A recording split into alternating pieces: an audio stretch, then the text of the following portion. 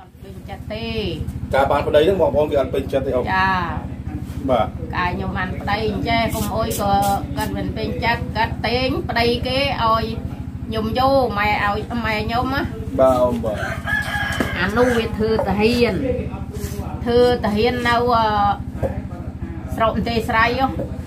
បាទដល់ពេលឡើងខ្ញុំអត់យកទៅក៏ម៉ែខ្ញុំឲ្យខ្ញុំមីងមីខ្ញុំគេខឹងទាំងអស់ អត់ខឹងតាពុកមី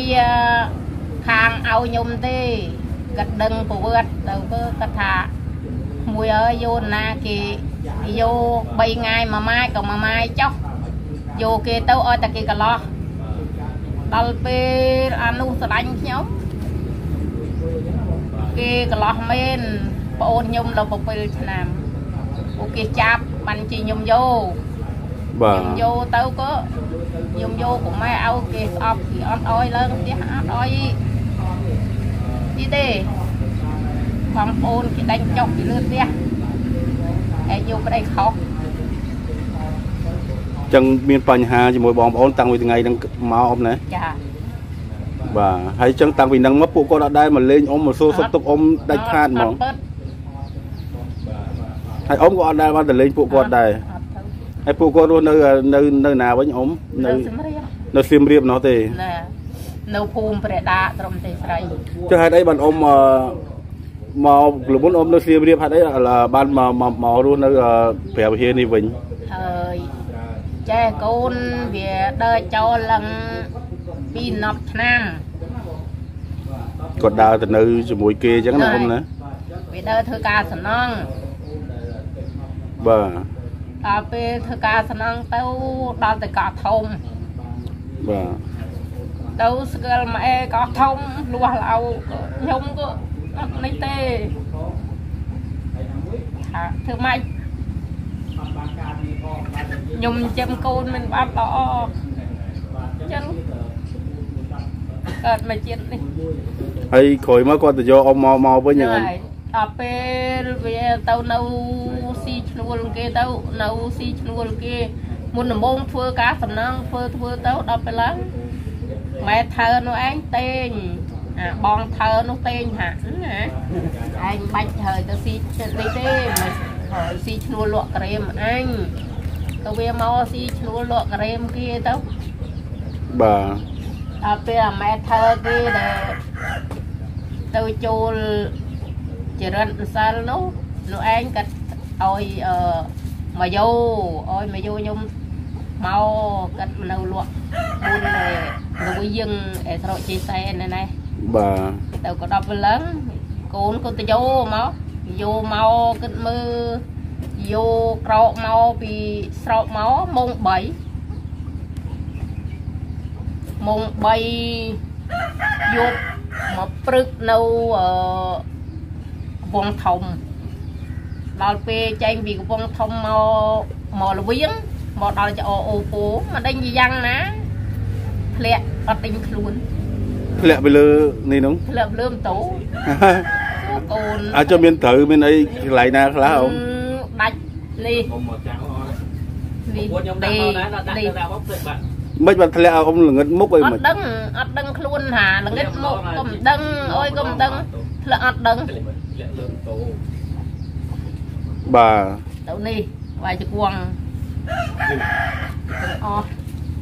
នេះដេនឹងដូចយើងខ្យល់យើងខ្យល់អ៊ំមើលទៅបាទមិនដេញជីចោលមិនដេញចោលទេដល់ពេលឡើងស្លាប់អត់ដេញខ្លួនណាទើបតែដល់ពេលហ្នឹងនៅក្នុងទីពេទ្យភ្ញាក់ខ្លួនឡើងសួរកូនថាអូនអញនេះណាថាម៉ែឯងនៅក្នុងពេទ្យដល់ចោលពេទ្យអីណាតែពេទ្យចោអូពូធ្លាក់មុខបងឲ្យទៅកន្លែងខ្ញុំទេហើយអាក ន្លែងដល់ព្រឹកទៅដល់ទៅឡើងហើយតានេះឡើងថ្នល់ប្រហែលឯណោះនោះថ្នល់ឯណោះនោះផ្ទះពេទ្យប្រហែលទ្រុងមឿនទៅចូលដប់ពេទ្យគេទៅយកមកកូនគេស្រែលឺសលេងកូនស្រែបើនិយាយទៅកូនអត់រួចបាទលឺកូនស្រែថាជួយផងជួយផងហើយម៉ែខ្ញុំងឹកហើយម៉ែខ្ញុំធ្លាក់ម៉ូតូហើយក៏ និយាយទៅនឹងកូនក៏អត់រួចអើយក៏អត់រួចដល់ពេលស្បប់ដេញលឺតែកូនស្រែតាប៉ាន់ដល់ក៏បាត់ត្រេងដេញជាកូនយកទៅណាអុយទៅណៃកើត្រឹមនោះមកមកយោមកដល់មកសាពីនោះមកមកនៅលវៀងទេពេទ្យនៅលវៀងអស់លឹង200ដុល្លារលុយអស់ច្រើនទៅទៀតអញ្ចឹងអ៊ំអ៊ំមានអឺកូនតែបងទូចម្នាក់ហ្នឹងឯងឬក៏ចាចា មានតែមួយហ្នឹងឯងអ៊ំណោះមានតែមួយនេះឯងអត់មានកូនទៀតទេមានតែមួយគាត់បាទហើយបងទូចឹងតាំងពីតូចមកដល់នេះដែលធ្វើឲ្យអ៊ំលំបាកអីហ៎អ៊ំអត់ទេកូនអអត់ត់ដែដែលលមានធ្វើអុយអុយលំបាកមានលំបាកខ្លះហើយព្រៃមកប៉ុន្តែខ្ញុំលំបាកជាងទឹកច្រើនបាទហើយអញ្ចឹងបើសិនជាថ្ងៃការរបស់ស្រីរតជាមួយនឹងបងទូចតើលោកអ៊ំបាន ទៅអត់ទេបើទៅមើលទៅអត់បានទៅទេកូននឹមគ្នាការទៅចោះបើអ៊ំអត់ស្អប់អត់ធ្វើអមទេតែអ៊ំពុលឡានអញ្ចឹងណានោះហើយបានបាទលេបឆ្នាំម្ដងហើយទៅជួស្រោមចុងអេបើគេមានឥឡូវឥឡូវហ្នឹងគេមានថ្នាំហូបដើម្បីកុំឲ្យពុលឡានតើអ៊ំមុនលេបតែតាលេបលេបអត់បាត់ទេធំលឹងតាបើគេថាអ្នកពុលឡានឲ្យឲ្យសារហូបម្នាស់ហូបម្នាស់ហូបម្នាស់ចុះគេថាមួយទៀតអ្នកពូលឡានឲ្យថាតកងឡានមកអញ និយាយពីរឿងថាឲ្យជិះអឺឡានទៅអញ្ជើញភៀវនៅបាត់ដំបងអស់អាក្មួយនោះគាត់ខ្ញុំសិនខ្ញុំឆែកកណ្ដាលអើយដល់ពេលឡើងគេថាហើយពុលឡានឲ្យធ្វើតកងឡានថាក្មួយខ្ញុំមកចាប់ធ្វើវិញសើចស្លាប់ពូពូអើយឡើងខ្ញុំកុំវាក់ថាអាក្ដូរឡាឈួតបាទៅថើបមែនទេនោះហើយចូលវាស្លាញ់មីង បាទមួយមីងវាមិនដែលដោយដាច់ធ្វើអុយបន្តិចក៏វាទៅយកធ្វើអុយបន្តិចក៏វាទៅយកដល់ពេលហៅតាខ្ញុំមកឯនេះពូនក៏យកមកនេះបាត់ក៏គ្នាបាត់គេទៅទៅហើយនេះមកបាទបាទអឺចឹងអរអរគុណណាអ៊ំបាទបាទបានអឺរៀបរាប់ពីប្រវត្តិបាទអរគុណច្រើនអ៊ំបាទ បាទជម្រាបសួរអ៊ំបាទដល់គាត់ព្រះបាទថ្ងៃនេះគឺក្មួយរីករាយណាស់ដែលបានមកលេងផ្ទះអ៊ំហើយបានទទួលបាយកុំផ្ទះកុំផ្ទះក្មួយអីបាទដែលបានទទួលបាយទទួលទឹកណាចាហើយក្មួយក៏មកស្កាត់ពីនោះមកដើម្បីមកសួរសុខទុក្ខរបស់អ៊ំផងហើយក៏ដូចជាមកយកកំណោយដែលសពរបស់ជនយើងគាត់នៅសហរដ្ឋអាមេរិកណាលោកអ៊ំបាទយកមកផ្ញើជូនតាមរយៈខ្ញុំហ្នឹងយកមកប្រគល់ជូនលោកអ៊ំចា បាទហើយក៏ខ្ញុំបានធ្វើដំណើរមកលេងផងដើម្បីឲ្យស្គាល់ផ្ទះសបាយកូនទូអញ្ចឹងណាចាបាទជូនលោកអ៊ំ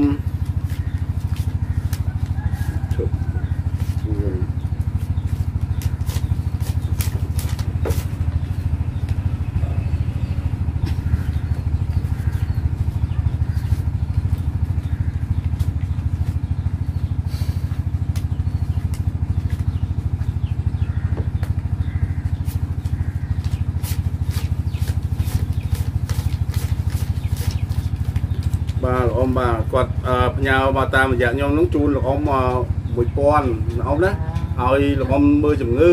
បាទហើយគាត់ផ្ដាំមកថាជូនពរឲ្យអ៊ំឆាប់ជាសះស្បើយ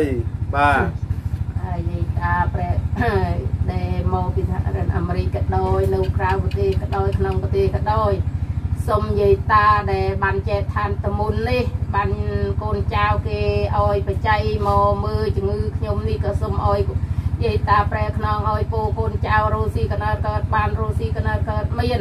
ប្រាថ្នាយ៉ាងណារួយគួយអ្វីមកយ៉ាងឲ្យសាយខាចិត្តបានថ្ងៃខែខែបានក្តីសម្រេចគុណប្រាថ្នាយ៉ាងណាឲ្យបានទាំងអស់គ្នាកុំឲ្យ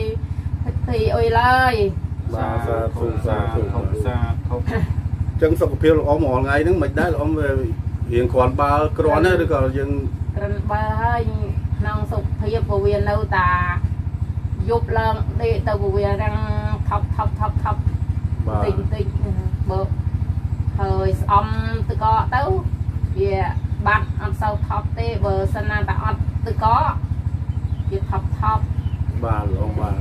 ព្រោះថ្ងៃមុនខ្ញុំមើលវីដេអូដែលបងទូចអឺបង្ហោះក្នុង channel ហ្នឹងខ្ញុំឃើញភ្លៀងលិចផ្ទះផងហើយខ្ញុំគិតខ្ញុំគិតក្នុងចិត្តថាលោកអ៊ំឈឺផងហើយអាភ្លៀងលិចផ្ទះអត់បានសម្រានហើយតើ យ៉ាងណាយ៉ាងណីទៅអត់អុយទេបាទហើយភ្លៀងគងអង្គុយចាំតែរាំងហ្នឹងណាបានបានសម្រាប់ធ្វើម៉េចកូនរួមបានហើយកឃើញថាភ្លៀងសាចូលផ្ទះឃើញប្រហោងក្តារចន្លោះច្រើននេះចន្លោះខាងនេះខាងបាទមកខាងក្នុងมันឃើញច្រើនហ៎ណាខាងយូនោះរអាហ្នឹងច្រើនក៏ថោកបានដែរតែតែដល់ពេលអត់មានកូន ចៅមកជួយចឹងអត់មានអ្នកហុចអីហុចអីចឹងវាពិបាកណាបងពេលចឹងអត់បានបាំងទៅបើសិនតែមានគ្នាហុចអាហ្នឹងវិញស្រួលទេយើងឥឡូវវាអាចចុះបងអូនបើសិនជាមានសពរស់ជនគេចង់ជួយធ្វើមិនដែរបងអូនយល់យ៉ាងណាដែរបាទបើមានសពរស់ជនគាត់ជួយគឺទទួលយកជំនួយគាត់គាត់ដើម្បីធ្វើផ្ទះឲ្យមានអឺភាព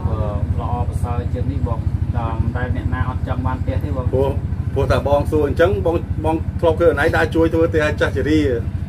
បាទការហើយហើយហេតុអីផ្ទះខ្លួនឯងអត់ធ្វើបាទព្រោះជំនួយដែលធ្វើផ្ទះចាស់ជរាហ្នឹងអឺដូចជាយើងពុកម៉ែបងប្អូននៅក្នុងបណ្ដាញសង្គមទាំងមូលហ្នឹងបង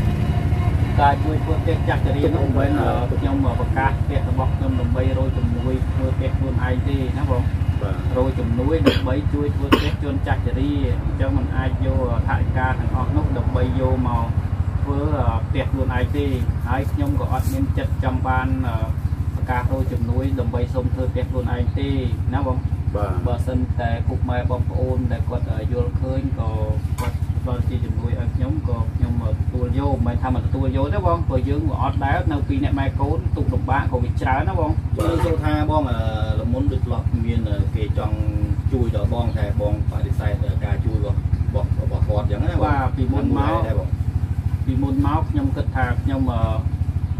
ក្រជាតិនេះបាបមានបាបច្រើនមានប្រកម្មច្រើនតាមខ្ញុំគិតណាបាទបងហើយបាទកម្មកម្មខ្ញុំច្រើនចេញពីស្រុកដល់ស្រុកគេតាត់ប្រត្រែងតែងម៉ែងរួមបានដីផ្ទះប្រប៉ុណ្ណេះមុនខ្ញុំថាគិតថា